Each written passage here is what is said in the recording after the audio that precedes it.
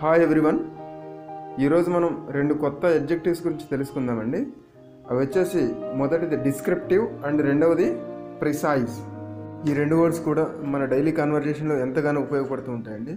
మొదటగా మనం డిస్క్రిప్టివ్ చూద్దాం. దీనికి తెలుగు మీనింగ్ వచ్చేసి వివరణాత్మకంగా అంటే ఏదైనా విషయాన్ని వివరంగా కూలంకుషంగా ఇది అర్థమయ్యే విధంగా చెప్పడం అనమాట ఇప్పుడు మనం గమనించండి ఇప్పుడు కొంతమంది టీచర్స్ ఉంటారు వాళ్ళు కానీ లెసన్ చెప్తే మనకి అక్కడ క్లాస్ రూమ్లోనే అర్థమైపోతుంది అనమాట మళ్ళీ ఇంటికి వెళ్ళి చదవాల్సిన పని కూడా ఉండదు. అంటే వాళ్ళు ఇచ్చే ఎక్స్ప్లెనేషన్ విత్ ఎగ్జాంపుల్స్ అది ఎలా ఉంటుందంటే వాళ్ళు వినే వాళ్ళని ఆకట్టుకుంటుంది వాళ్ళు ఇచ్చే వివరణ అనమాట సో ఇటువంటి సందర్భాల్లో ఇప్పుడు అతడు చాలా బాగా అంటే లెసన్ చెప్తారు అతని టీచింగ్ బాగుంటుంది మా అందరికి వెన్న వెంటనే అర్థమైపోతుంది అని ఇట్లా సార్ చాలా బాగా లెసన్ చెప్తారు.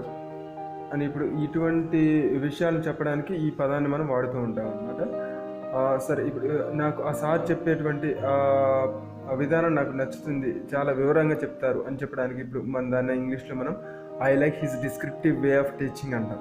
I like his descriptive way of teaching so మరో ఎగ్జాంపుల్ చూద్దామండి. ఇప్పుడు కొంతమంది రచయితలు ఉంటారు వాళ్ళు రాసే విధానం కూడా మనల్ని బుక్ అంతటిని చదివేటట్టు చేస్తుంది అనమాట అట్లా అటువంటి క్యూరియాసిటీ అనేది కలుగజేస్తుంది అనమాట సో ఇప్పుడు అట్ట ఇప్పుడు వాళ్ళ గురించి చెప్పాల్సి వచ్చినప్పుడు ఇలా చెప్పొచ్చు. He's one of the famous writers many people like his descriptive way of writing సరే అండి ఇక ఇప్పుడు మనం రెండో వర్డ్ చూద్దాం. అదేంటంటే ప్రిసైజ్ ప్రిసైజ్ అంటే దీనికి తెలుగు మీనింగ్ వచ్చేసి ఖచ్చితమైన.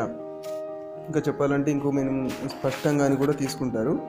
అండ్ దీనికి వచ్చేసి మనకి ఎగ్జాంపుల్స్ ఎలా ఉంటాయంటే ఇప్పుడు ఫర్ ఎగ్జాంపుల్ ఎవరైనా ఇప్పుడు టైలర్ బట్టలు కుట్టే ముందు ఏం చేస్తారు? మెజర్మెంట్స్ తీసుకుంటారు కదా. ఇప్పుడు ఆ మెజర్మెంట్స్ అనేది చాలా ఖచ్చితంగా తీసుకుంటారు. లేదంటే అవి బట్టలు అనేవి ఎగుడు దిగుడు అయిపోతాయి అవి చూడడానికి మంచిగా ఉండవు అనమాట సో ఇక్కడ ఇలాంటి సందర్భాల్లో ఏం చెప్తారు?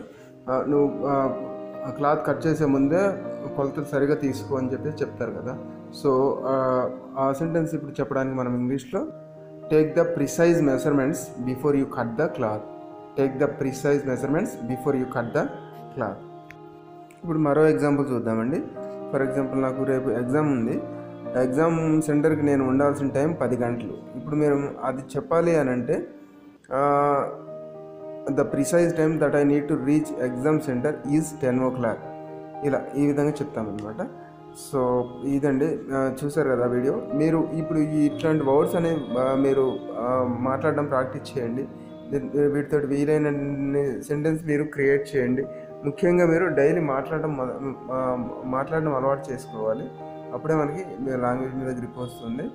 And please please subscribe to channel if you like the video and share it. We'll meet you in the next video. Till then, bye.